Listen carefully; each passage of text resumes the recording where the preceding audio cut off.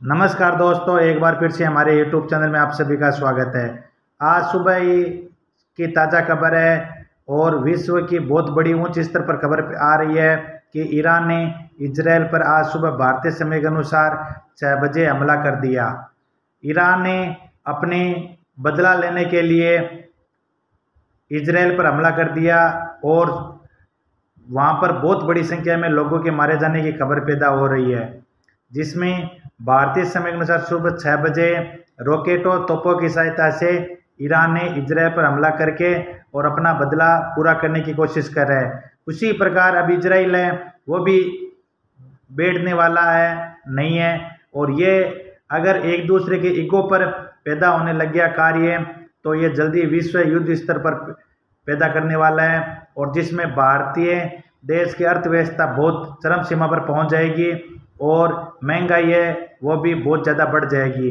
क्योंकि अमेरिका है, यदि अमेरिका ने ईरान पर हमला किया तो बाहर से जो भी सामान ईरान से मंगाया जाता है, उन पर प्रतिबंध लग जाएगा और भारत की जो अर्थव्यवस्था है, वो पूरी पूरी ख़राब हो जाएगी और महँगाई है, वो ऊंच स्तर तक पहुँच जाएगी।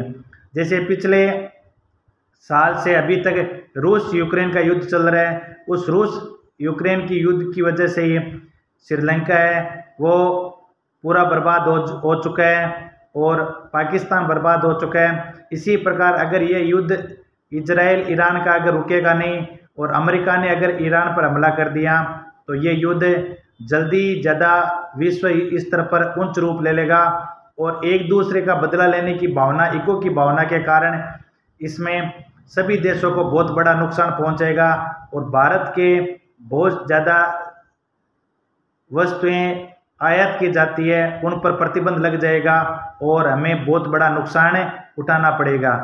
ये आज की ताज़ा खबर आ रही है और जिसमें भारतीय समय के अनुसार ईरान ने इजराइल पर हमला करके और अपने आप को बहुत बड़ा तानाशाही देश समझने लग गया है। देखो बाकी क्या होता है, इजराइल इसकी क्या करता है, क्योंकि सभी कुछ ईरान, इराक ने या अमेरिका ने कुछ दिन पहले अपनी एडवाइजरी जारी की थी, लेकिन अचानक ही ईरान ने क्या किया? आज सुबह ही हमला करके और अपने आप को तानाशाही साबित करने की कोशिश की। अब देखो ये देश किस प्रकार लड़ाई करते हैं और किस प्रकार अपने आप को रोकते अगर ये बदले की भावना अभी तक नहीं रुकेगी तो जल्दी ये युद्ध बड़ा होगा और इसमें एक दूसरे देश सभी सम्मिलित हो जाएँगे।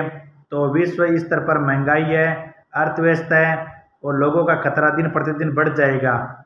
इसलिए जो हमारे वीडियो को अभी तक नए यूट्यूबर, नए व्यूवर देख रहे हैं, प्लीज़ हमारे चैनल को सब्सक्राइब कर देना और बेल आइकन को ज़रूर दबा देना, जिससे कि आगे आने वाला हर वीडियो का नोटिफिकेशन आपको सबसे पहले मिलता रहे।